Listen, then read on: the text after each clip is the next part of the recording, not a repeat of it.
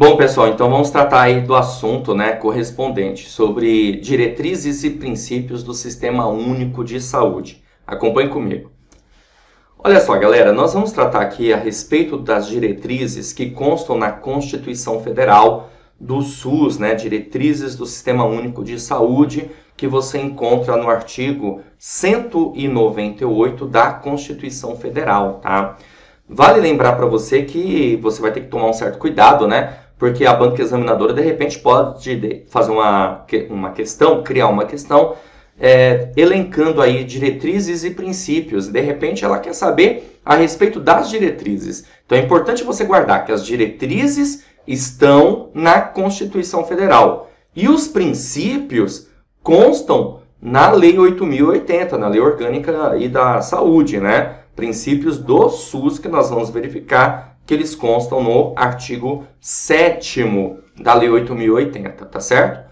Outro questionamento que pode ocorrer também em provas de concursos é a respeito dos princípios doutrinários e organizativos. Os doutrinários você vai encontrar na, na verdade, são três, né? Na verdade, que nós vamos ter. E os princípios organizativos você também precisa saber quais são. Eu vou tratar desse assunto aqui também, aproveitar esse vídeo, essa aula, para a gente trocar uma ideia a respeito desse assunto, tá certo?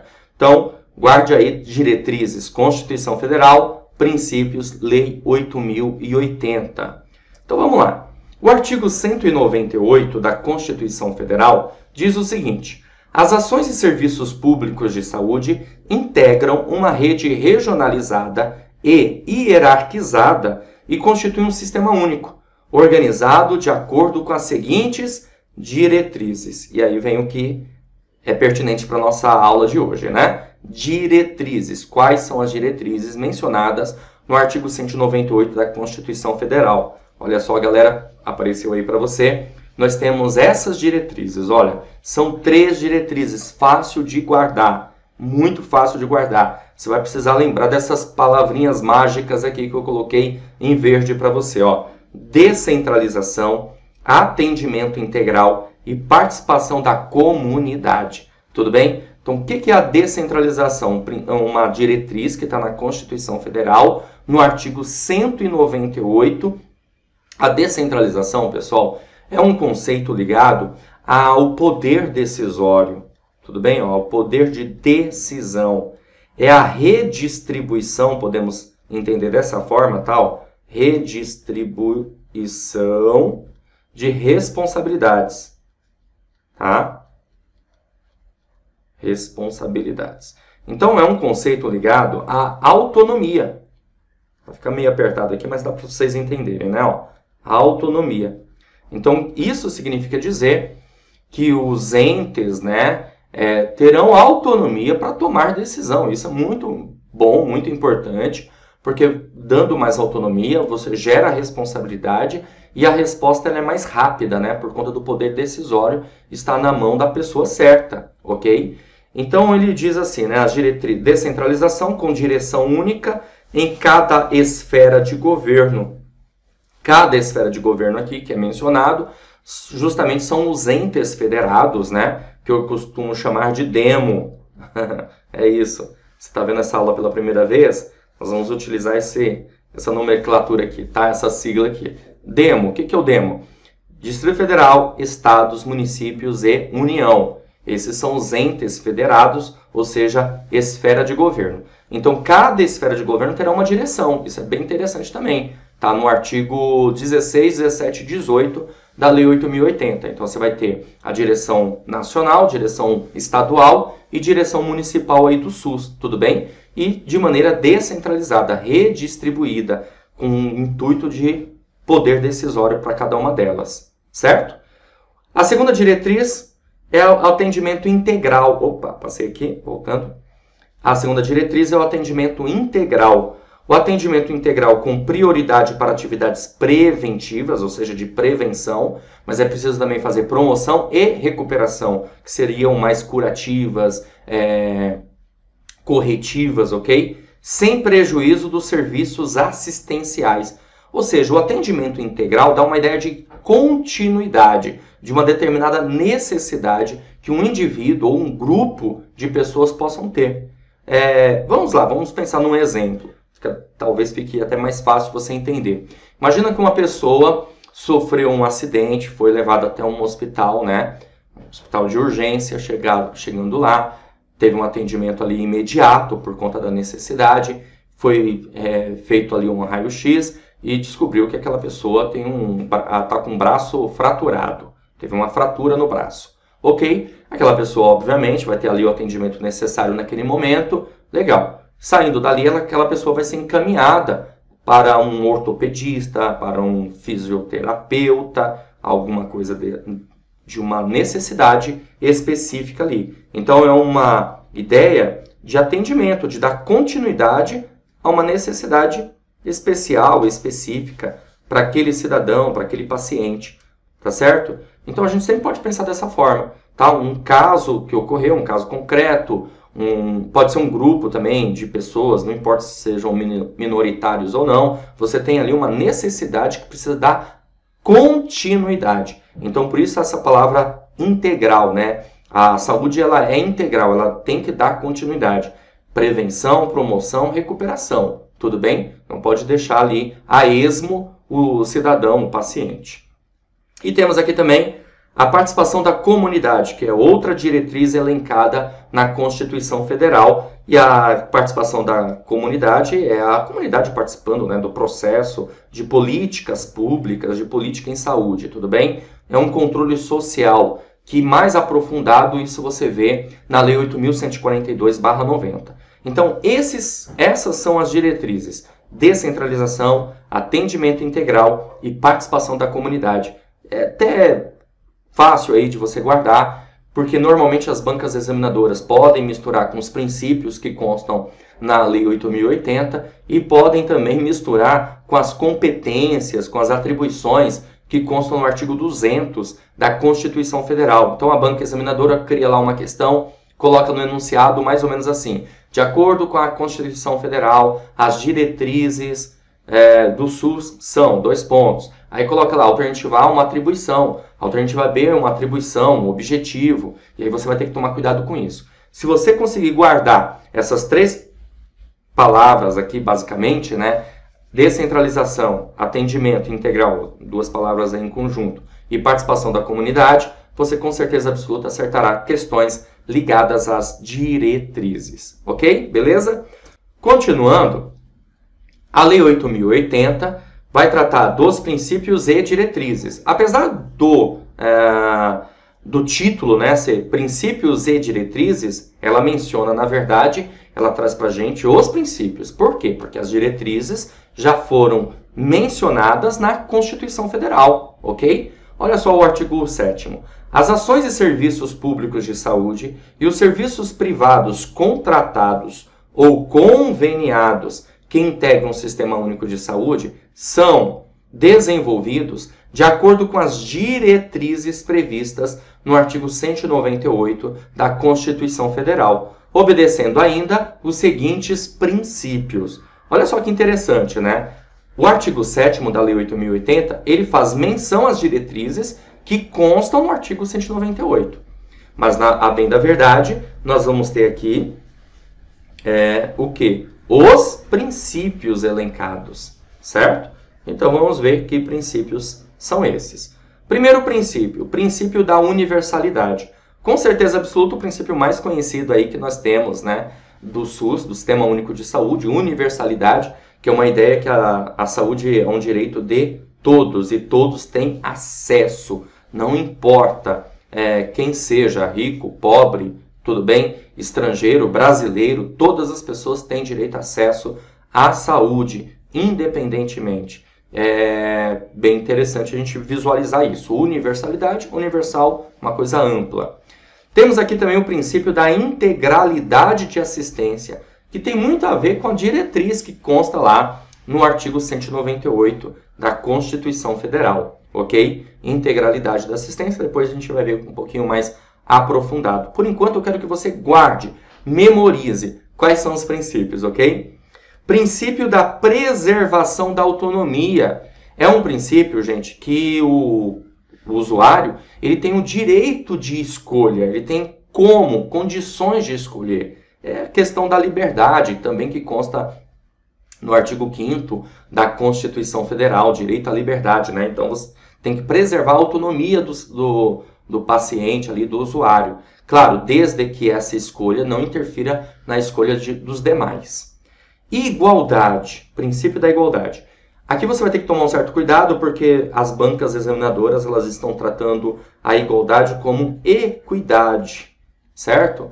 A equidade é justamente você perceber, visualizar as desigualdades e ser mais justo possível, tá certo? Por quê? Porque, vamos lá, a Constituição Federal diz assim: todos são iguais perante a lei, sem distinção de qualquer natureza. É bem interessante, né? Está no artigo 5 da Constituição Federal. Só que tem que tomar um cuidado, porque essa igualdade é uma igualdade formal. O que, que, ela, que, que significa isso? Que essa igualdade formal, que é perante a lei, vamos dizer assim, né? Ela pode, de repente, ser desigual para os demais. E aí a gente tem que tomar um certo cuidado. Então, por isso que a equidade é mais interessante nesse sentido. Porque a equidade vai tratar das desigualdades. Mais para frente eu vou mostrar isso para você também. Temos um outro princípio chamado princípio do direito à informação, ou seja, a, a pessoa ela tem acesso à informação, ela tem esse direito. Exemplo, paciente quer ter acesso ao seu prontuário, pode? Com certeza absoluta que pode, é um direito a, a, que ele tem, né? acesso à informação. Direito de informações, olha que interessante, a gente tem direito à informação, que se trata um direito para a pessoa e direito de informações que é algo mais coletivo. Ou seja, o Sistema Único de Saúde ele precisa repassar dados, informações à população como de uma maneira geral. Utilização da epidemiologia. Epidemiologia a gente pode entender que é uma, uma forma, é uma ciência né, que vai estudar ah, as doenças, os agravos, ok? Ah, o que pode ocorrer de casos epidemiológicos, e aí você tem os epidemiologistas, que é uma série de pessoas aí que vão tratar a respeito de assuntos ligados à doença e justamente verificar os fatores determinantes e condicionantes que podem afetar a população, agravar, né? Então a epidemiologia vai fazer estudos relacionados a isso, a fatores. Tá certo? Participação da comunidade, que é um princípio e também é uma diretriz, você visualizou isso comigo, né? Participação da comunidade, que é o tá com controle social, a comunidade participar de conferências, conselhos de saúde, tudo bem? Agora só toma cuidado, tá? Conferências e conselhos de saúde não são mencionados na Lei 8080, tá bom? Isso aqui é mencionado na Lei 8142/90. Ou seja, participação da comunidade é um princípio elencado na Lei 8080, mas como isso ocorre, você vai verificar na Lei 8142/90. Bom, além disso, nós também temos a descentralização político-administrativa, que é justamente aquele conceito de autonomia, redistribuição de responsabilidades que eu comentei para você na diretriz lá da Constituição Federal. Então a gente consegue observar que é um princípio e também uma diretriz. Integração em nível executivo das ações, ou seja, quais são as ações aí que precisam estar integradas. Isso significa dizer que o SUS precisa ter uma visão sistêmica. O que é ter uma visão sistêmica, gente? Ter uma visão sistêmica é ter uma visão do todo. Ou seja, por exemplo, Uma, um, um fator saneamento básico vai afetar o que? A saúde. Um fator alimentação, nutrição vai afetar a saúde. Então nós precisamos ter ações ligadas a isso para que, obviamente, possamos ter a, po a possibilidade, pelo menos, né, de redução aí das doenças e dos agravos. Além disso, também temos aqui a conjugação dos recursos financeiros tecnológicos, materiais e humanos como princípio, ou seja, um princípio voltado à gestão, a como gerenciar né, recursos financeiros, tecnológicos, materiais e humanos no âmbito da saúde.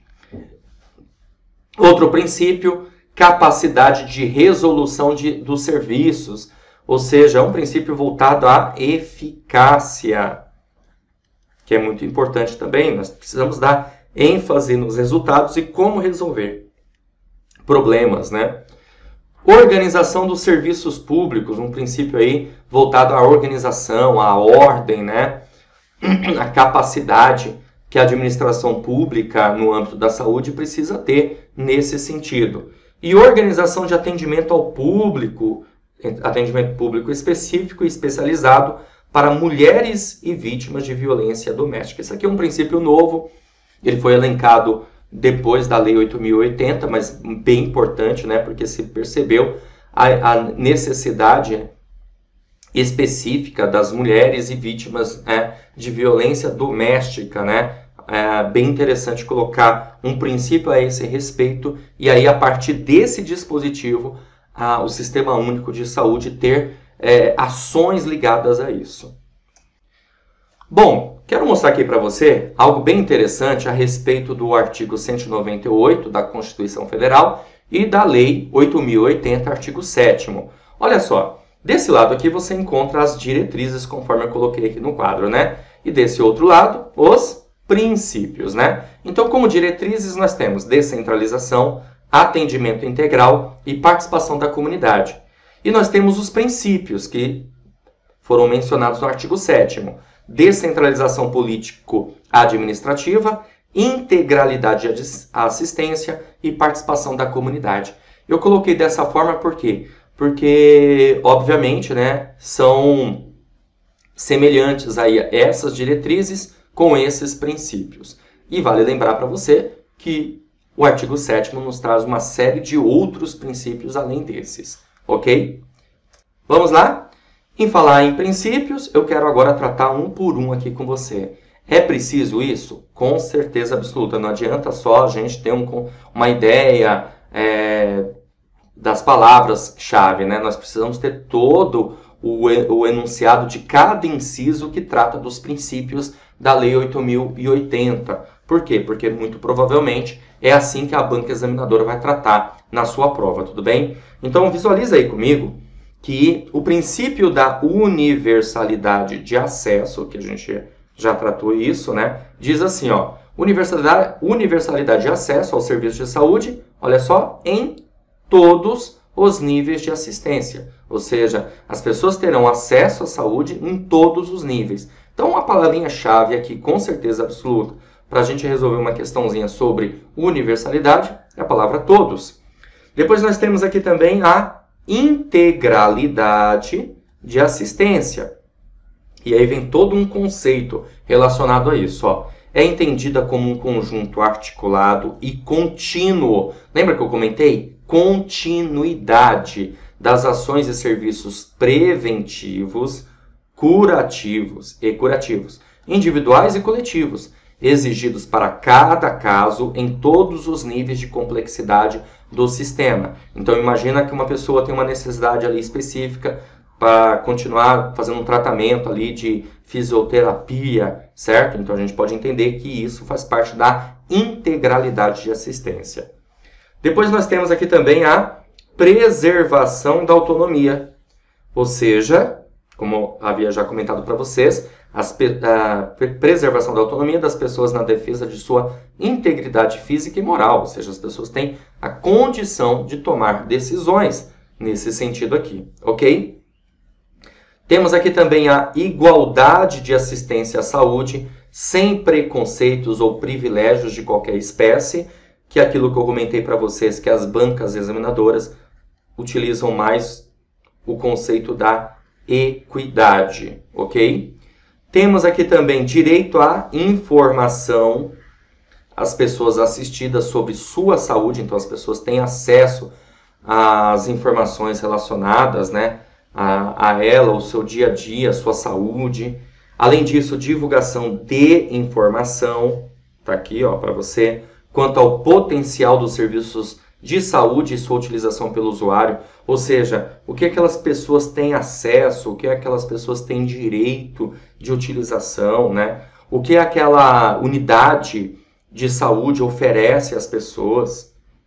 Mais uma aqui, utilização da epidemiologia para o estabelecimento de prioridades, alocação de recursos e orientação programática. Ou seja, cria-se políticas públicas, ó, criação de políticas voltadas à saúde a partir do momento em que se utilizou informações, dados, né, estatísticas relacionadas à epidemiologia. Continuando, participação da comunidade. Como eu falei para você, nós temos isso como princípio e de maneira mais aprofundada de como isso pode ocorrer na Lei 8.142/90. Temos aqui também a descentralização político-administrativa com direção única em cada esfera de governo. Então você vê que isso consta também lá na Constituição Federal como uma diretriz, o poder de decisão, a autonomia de tomar decisões, com ênfase na descentralização dos serviços para os municípios. Até porque, gente, o município está mais próximo do cidadão, né? Então, por estar mais próximo do cidadão, é mais interessante dar essa ênfase de descentralização para os municípios. Mas nós também temos um outro conceito que é a regionalização e hierarquização da rede de serviços de saúde. Então, a hierarquização nós podemos pensar nos níveis aí de, da rede de saúde, tá? Níveis aí de complexidade e regionalização é dividir, vamos dizer assim, fatiar, né? por exemplo, o município ou o estado mesmo em si, não importa aqui no caso, no intuito de você ter é, casos né, mais específicos para cada tipo de região. Por exemplo, tem certas doenças, epidemias que ocorrem numa determinada região. Então você consegue alocar melhor recursos para essa área se você trabalha com de maneira regionalizada. Então, essa é a ideia. Integração em nível executivo das ações de saúde, meio ambiente e saneamento básico, ou seja, integrar todas as ações relacionadas a isso, que é aquilo que eu comentei para você, de ter uma visão sistêmica. Ok? Próximo, 11. Conjugação dos recursos financeiros, tecnológicos, materiais e humanos da União, Estados, Distrito Federal e dos municípios na prestação de serviços de assistência à saúde da população. Então, conjugar, ou seja, aqui é um princípio ligado à gestão, conforme havia dito para vocês, tá certo? Temos aqui mais um, 12. Capacidade de resolução dos serviços em todos os níveis de assistência, que tem a ver com a eficácia, né? Mais um, organização dos serviços públicos de, de modo a evitar duplicidade dos meios para fins idênticos, ou seja, é, a gente tem que procurar né, não ter duplicidade. É, o que, que se de, deseja alcançar? Quais são os fins? De repente, tem muitos meios, muitos processos que acabam travando a máquina administrativa, é, muita burocracia, né? E 14, organização de atendimento público específico e especializado para mulheres e vítimas de violência doméstica em geral, que garante, entre outros, atendimento, acompanhamento psicológico, cirurgias plásticas reparadoras, guarda isso aqui também, né, importante, em conformidade com a Lei 12.845, de 1 de agosto de 2013.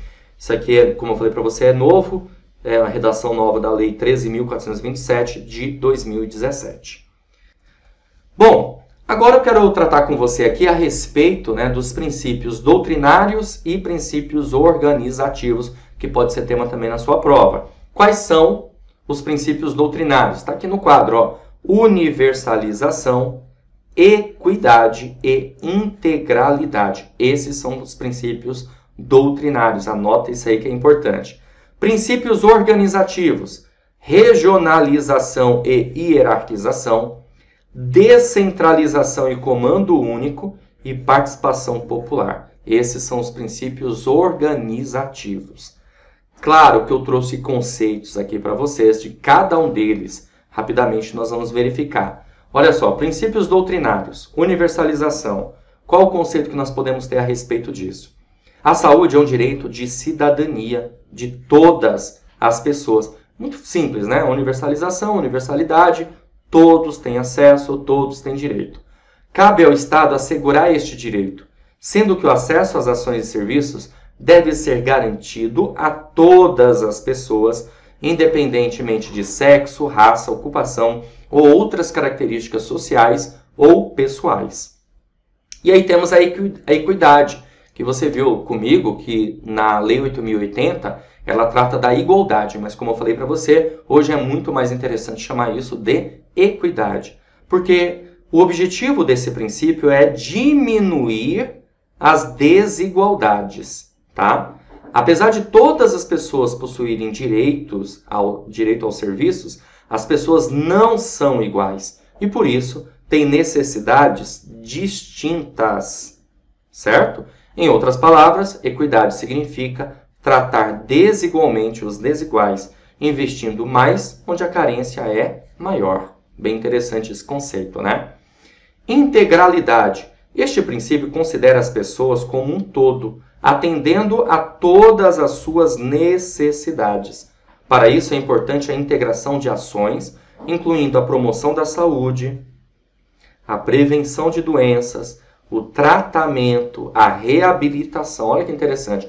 Então, quando você vê questões relacionadas a que aquela pessoa ela está passando por uma fase de reabilitação, de tratamento, ele muito provavelmente vai estar se referindo à integralidade. Juntamente, o princípio de integralidade pressupõe a articulação da saúde com outras políticas públicas para assegurar uma atuação intersetorial entre as diferentes áreas que tenham repercussão na saúde e qualidade de vida dos indivíduos. Eu trouxe também uma ideia aqui para você visualizar comigo, né? Ó, de universalização, como você pode observar aí, apareceu um desenho para você, né? Todos, todas as pessoas ali no caso têm o direito. A equidade, olha só que ilustração bacana essa, né? Veja bem que interessante. Deixa eu grifar aqui para chamar sua atenção. Esse primeiro quadrinho aqui é um quadrinho de igualdade. tá? Olha só, igual para todos, tá vendo? Ó, cada um tem um caixotezinho aí para assistir o jogo. Porém, olha só esse personagem nosso aqui, esse outro personagem e esse miudinho aqui, né? Coitado. Não consegue assistir por conta da cerca que está ali. Agora, quando a gente trata da equidade, eu vou tratar das desigualdades. Olha só a diferença, né? É um caixotinho para esse mediano e para o nosso pequenininho aqui tem dois caixotes para que ele consiga assistir ali ao jogo. Ok? Legal. E temos, claro, a integralidade, que é uma visão sistêmica, né?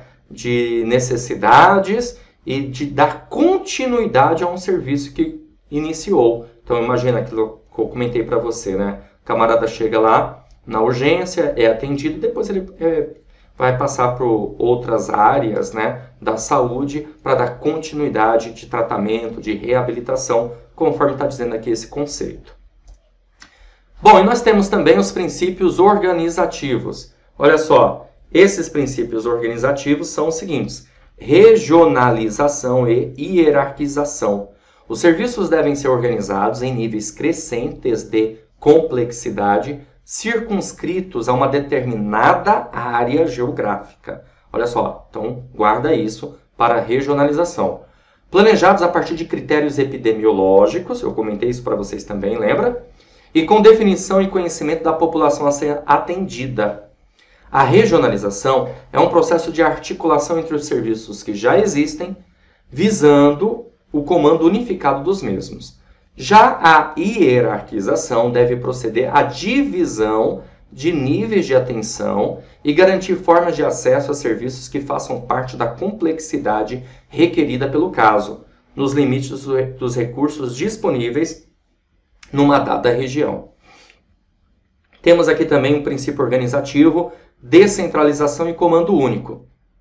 Descentralizar é redistribuir poder e responsabilidade entre os três níveis de governo. Com relação à saúde, descentralização objetiva, prestar serviços com maior qualidade e garantir o controle e a fiscalização por parte dos cidadãos. Então, tá vendo? Ó, redistribuir poder, como eu falei, poder decisório e responsabilidade entre os três níveis de governo, né? Ou seja, nacional, estadual e municipal. No SUS, a responsabilidade pela saúde deve ser descentralizada até o município, ou seja, devem ser fornecidas ao município condições gerenciais, técnicas, administrativas e financeiras para exercer esta função. Para que valha o princípio da descentralização, existe a concepção constitucional do mando único, ou seja, o comando, quem está ali no comando, né? Onde cada esfera de governo é autônoma e soberana nas suas decisões e atividades, respeitando os princípios gerais e a participação da sociedade. E nós temos um outro princípio organizativo chamado participação popular. A sociedade deve participar no dia a dia do sistema. Para isso, deve, devem ser criados os conselhos e as conferências de saúde, que eu mencionei para você também nesse vídeo, que visam formular estratégias, controlar e avaliar a execução da política de saúde. E isso, como eu falei para vocês, lá na Lei 8.142-90, é, menciona de uma maneira bem mais né, é, abrangente e específica ao mesmo tempo, para a gente entender um pouquinho mais como que ocorre a participação popular. Bom, pessoal, agora nós vamos resolver questões de provas anteriores. Eu trouxe seis questões aqui para você resolver comigo nesse vídeo, tá? Para você ficar craque na matéria aí de legislação do SUS. Não é à toa que é chamado de treinamento gabaritando SUS. Por quê? Porque é sempre essa ideia, né, de ter a teoria e também resolução de questões, que é isso que vai fazer você realmente entender como o tema pode ser abordado em provas de concurso, tudo bem? Então vamos lá, olha só. A questão número, ah, não tem numeração a questão, né? Ela é de 2016, ela diz assim: O Sistema Único de Saúde pode ser entendido a partir da seguinte imagem: um núcleo comum que concentra os princípios doutrinários de uma e uma forma de organização e operacionalização que são os princípios organizativos e assinale a alternativa correta sobre quais são os princípios do SUS. Então, ó, a gente tem princípios doutrinários e princípios organizativos. Alternativa A, princípios doutrinários: humanização, despotismo e integralidade. Foi isso que a gente viu, galera? Não, né? Com certeza absoluta não. Então já dá para eliminar essa alternativa A, né, galera? Alternativa, nem vou olhar o restante. Alternativa B, princípios doutrinários. Universalidade, equidade e integralidade. Princípios organizativos, regionalização e hierarquização. Opa, esse é o nosso gabarito, tudo bem? Alternativa B. Então nós temos universalidade, equidade e integralidade como princípios doutrinários e princípios organizativos regionalização e hierarquização. Ah, prof, não tem todos, porque todos, ó, visualiza aí comigo, né? Nós teríamos aqui, correto? Deixa eu voltar lá. Aqui, ó, princípios doutrinários, universalização, equidade e integralidade, e princípios organizativos, regionalização e hierarquização, descentralização e comando único e participação popular. Mas, de qualquer forma, né, pessoal, não está errado isso aqui, é, mesmo, que não esteja, é, mesmo que não esteja completo. Na alternativa C, princípios doutrinários. Universalidade, ok. Equidade, ok. Integralidade, ok. Centralização, não, né, galera? É descentralização. Na alternativa D, universalidade, equidade e fracionalidade? Pô, isso não. Então, por isso, ficamos com a alternativa B nessa questão. Caminhando, vamos resolver mais uma questão de 2018. Diz assim: entre os princípios e as diretrizes do SUS estão, vamos lá. Alternativa A, a centralização administrativa e a universalidade do acesso. Bom, gente, não é descentralização, né? É descentralização, certo? Então, alternativa A, errada. Alternativa B, participação da comunidade na gestão e a centralização administrativa. Poxa vida, de novo, né? Então tá errado isso. Alternativa C, universalidade como princípio e integralidade do atendimento. Opa, esse é o nosso gabarito. Realmente, isso aqui é um princípio, Lei 8.080, e nós temos a integralidade do atendimento, que é uma diretriz, olha só que interessante, hein? Que consta na Constituição Federal, certo? Independência da gestão e contratualização do cuidado, não. Então vamos continuar. Mais uma questão, mais, Questão de 2018 da Banca Vunesp, Prefeitura de Sertãozinho. De acordo com os princípios do Sistema Único de Saúde, a integralidade. Vamos lá. Alternativa A. Garante à população acesso imediato às ações e aos serviços públicos em todos os níveis de atenção à saúde. Alternativa B. Reafirma a necessidade de se reduzir as disparidades sociais e regionais no que se refere à atenção e recuperação da saúde da, das comunidades. Alternativa C. Preconiza que a atenção em saúde deve levar em consideração as necessidades específicas de grupos de pessoas, ainda que minoritários, em relação à população. Alternativa D. Gerencia as atribuições dos gestores municipais e estaduais para garantir a eficiência e efetividade das ações de saúde para a população. Ou alternativa E. Reassegura a formação e o funcionamento dos conselhos de saúde, impulsionando a participação da população na elaboração de políticas públicas.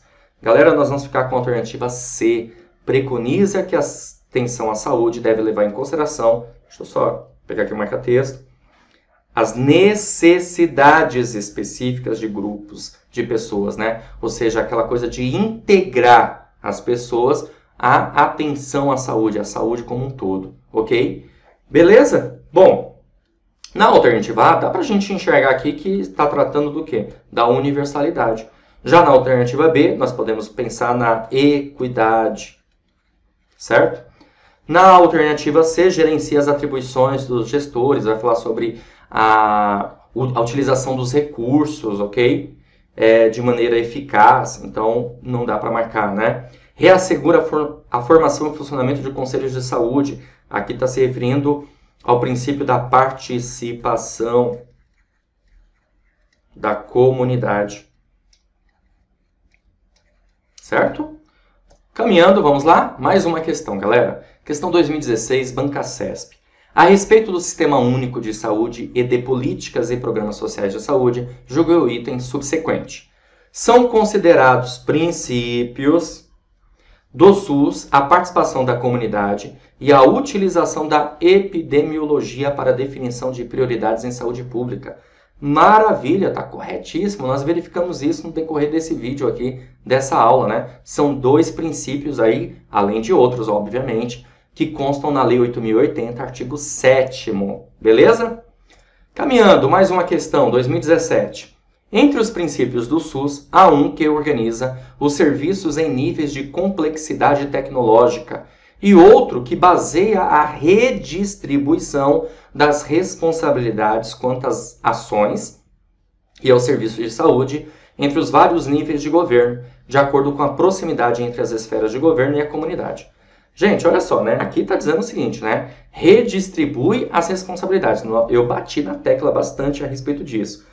Ó, eu nem vou pensar na primeira parte, na segunda aqui. A segunda parte, porque tem um E aqui, tá vendo? Então você tem, ó, Deixa eu grifar aqui. Então, você tem essa primeira parte que fala de organização dos serviços em nível de complexidade tecnológica. E aí você tem essa outra parte aqui. Opa, não era isso que eu queria. Deixa eu apagar. Pronto. E tem temos uma outra parte aqui. Peraí, gente. É ao vivo e a cores é assim mesmo, tá? Ó, que fala outra que baseia redistribuição de responsabilidades. Então veja, redistribuição de responsabilidades você deve se lembrar, né? O que, que é mesmo? Isso, descentralização. Então, se é descentralização, olha só, tá aqui, ó, descentralização, descentralização, descentralização. Então, logo, meu amigo, a gente pode passar a régua na B, certo? Passamos a régua também na, na D. Ok? E aí você fica aí, ó, alternativa A, hierarquização, alternativa C, equidade, alternativa E, regionalização. Bom, ele fala de A1 que organiza os serviços em níveis, níveis de complexidade tecnológica. O que, que é isso? É regionalização? Está falando de regiões? Não, está falando de níveis. Tem alguma coisa a ver com equidade? Também não, né? Acho que dá para você uma charada aí que não. E aí, me fala, coloca aí, o que, que você acha? Hierarquização ou regionalização? Hã? Pensa aí. Níveis. Se você pensar em níveis, nós vamos pensar nisso aqui, ó. Pensa numa estrutura, níveis. Bom, se eu tenho aqui uma estrutura vertical, poderia até ser horizontal também, o que, que nós vamos ter? Uma, é isso aí, hierarquização, certo? Então, logo gabarito nossa questão, alternativa A. Ficou claro isso para você? Bora continuar. Mais uma questão. Mais uma questão da Banca CESP 2018 diz assim: as articulações das ações e serviços preventivos e curativos, individuais e coletivos, correspondem ao princípio da universalidade. E aí, certo ou errado? Ó, enquanto você vai. Coloca aí no comentário, pô, né? Enquanto você coloca aí no comentário, lembra que eu comentei a respeito desse assunto agora há pouco, da universalidade, lembra? Da integralidade, da equidade, né? Então, quando se trata de serviços preventivos, curativos, individuais, coletivos, essa articulação de ações, qual que é o intuito aqui? É uma visão sistêmica. Ó, então, enquanto eu estou escrevendo aqui, você já está jogando aí, né? Espero no comentário a sua resposta.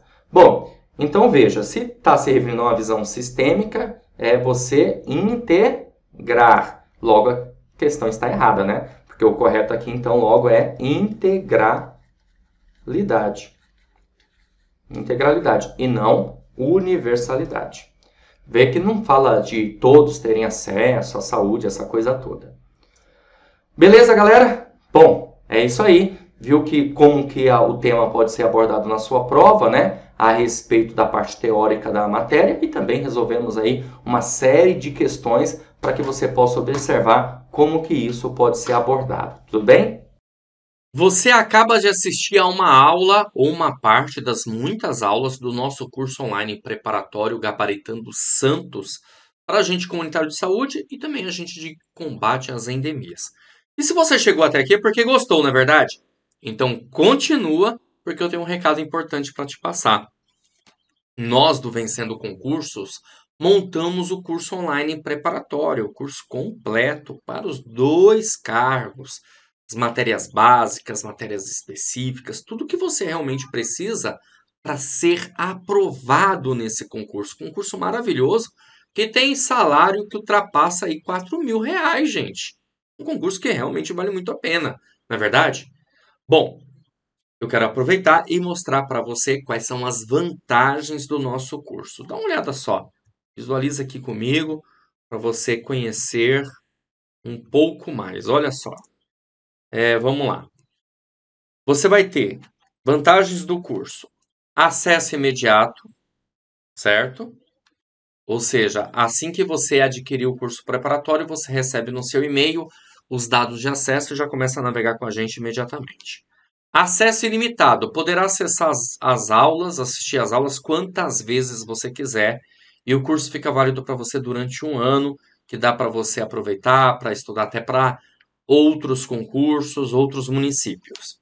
Você vai ter teoria e questões comentadas, centenas de questões comentadas no decorrer das aulas pelos nossos professores. E vai ter também material em PDF das aulas, tá? Então a gente transforma as aulas, ah, os, os slides dos professores em material em PDF para você baixar e servir como complemento. Os cursos que vai aparecer para você na plataforma: agente comunitário de saúde e agente de combate às endemias, porque é possível prestar as duas provas, tá? E estamos preparando um super bônus, que é o caderno de questões. São questões gabaritadas para você treinar, milhares de questões à sua disposição, separadas por matéria. Olha só que maravilha, gente. Valor especial de lançamento de 497 reais por apenas 247 reais, ou 12 vezes de R$ 24,65. Certo? Agora me diz, o que, que você compra, o que, que você paga com R$ 24,65, hein? Não dá para comprar um lanche hoje em dia. Então, se você economizar um pouquinho por mês, você adquire seu curso online preparatório. Faz o seguinte, abaixo do vídeo, na barra de descrição ou na barra de comentários, vai ter um link. Você vai clicar nesse link e vai ser redirecionado para a página do curso. Lá você vai encontrar todas as informações necessárias, tá? Vai ter um botãozinho lá de comprar no meio, você vai clicar nesse botão, vai preencher seus dados, escolher a forma de pagamento e pronto! Vai começar a estudar aqui com a gente no Vencendo Concursos. Show de bola? Caso tenha alguma dúvida, lá na página do curso tem um chat online. É só você digitar lá suas dúvidas que um dos nossos consultores vai te atender e vai sanar todas elas. Ou você pode chamar também na central de atendimento WhatsApp, tá aí o número 11 97465 6052, ok? Bom, é isso, vou ficando por aqui, aguardando você dentro da plataforma. Então clica no link agora, já faz a sua matrícula. Valeu, grande abraço e até mais.